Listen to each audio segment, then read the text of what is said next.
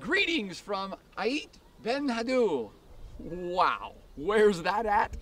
We're in the middle of the high Atlas Mountains of Morocco in a thousand year old walled fortress city.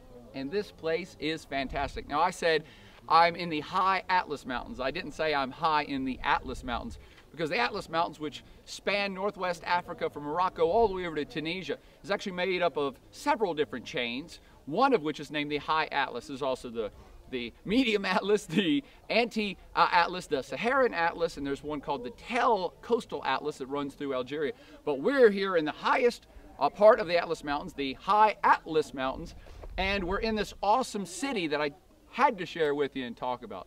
Why is it so awesome? Well, it's one of the best and oldest examples of uh, an existing Casbah. Okay, what's that? I know you've heard the term Casbah from the Clash, rock the Casbah, but it's actually a term that means something uh, in Islamic architecture. Now, it can mean a lot of different things in different societies, but I'll let you go ahead and do a turn to show what the Casbah is. We're actually in, sitting on top of the Casbah, in the kind of high area that's a fortress citadel part of the center of this old Islamic town. Let's go ahead and pan back around. And as you can see from the view you just got, we're at the highest point. Again, this kind of apex. Back in the day, this, these walls would have been higher to be easily uh, fortified, to be easily defendable, and also to give you this awesome expansive view of this ginormous landscape around us. And uh, it's also been a symbol of wealth and power of this particular city or the people who built this particular uh. Okay, so why is it here? Why would there be a Casbah in the middle of what seemingly is mountainous desert? Because back in the day, my friends, this place was hot and it was happening, not just hot temperature wise, it was full of action. Because where we're at is kind of a midway point between the Saharan desert that starts over on that side of the mountains over that way. And if you go uh, the same distance in that direction, you go to Marrakesh, uh, Morocco. Marrakesh, another ancient city that's been an economic thriving hub of Morocco for a very, very, very long time. So why would people have been moving in from the Sahara to Marrakesh a thousand years ago? Because this became kind of a center point, uh, bringing together trade from this whole side of West Africa, meaning that camel caravan traders, yes, they still exist and they did a thousand years ago, were bringing in goods and stuff from other big kingdoms in Western Africa and mostly sub-Saharan Africa. So we think of sub-Saharan black Africa, some ancient old kingdoms like the Mali kingdom down there, the Ghana coast was very rich, and they would have been bringing in exotic things like crazy exotic animals and monkeys and elephants and, and stuff, but also more importantly gold and ivory and maybe other spices and other traded things that you couldn't get anywhere else.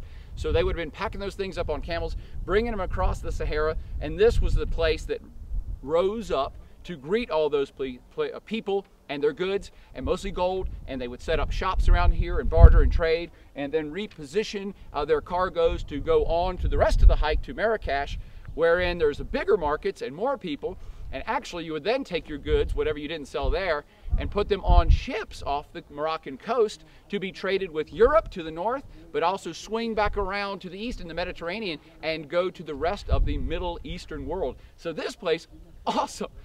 Ait Benhaddou uh, between the Sahara and Marrakesh is also famous because of its awesome architecture, its awesome history, has been named a UN UNESCO World Heritage Site. That in and of itself is cool. So uh, it's got an awesome Casbah, it's a World Heritage Site, but why else is this place awesome? And I can almost promise you, you've seen this place before, maybe more than once, even though you've never visited. What am I talking about? Because the other thing this place is famous for is this is the Hollywood of Morocco. Welcome to Hollywood. Uh, and by that I mean that this particular little city, little town, little village uh, that's a thousand years old has been the backdrop for a whole slew of movies that assuredly you've seen one, two, ten, or all of.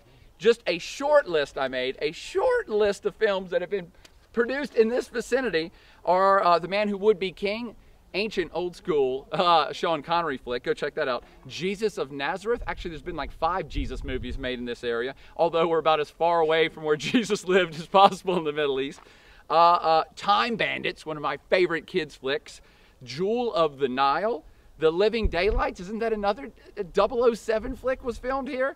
The Mummy, I know you've seen The Mummy. Gladiator, Alexander, Babel, Prince of Persia, and indeed there's one more. If you've not seen any of those films, I'll bet there's one in popular culture right now, and that is Game of Thrones uses some of this in some of their backdrops and some of their storylines. How fantastic is that? That's what's going on in this awesome Casbah UNESCO World Heritage Site town of Ait Benhaddou here in the high Atlas Mountains of Morocco. And we're out.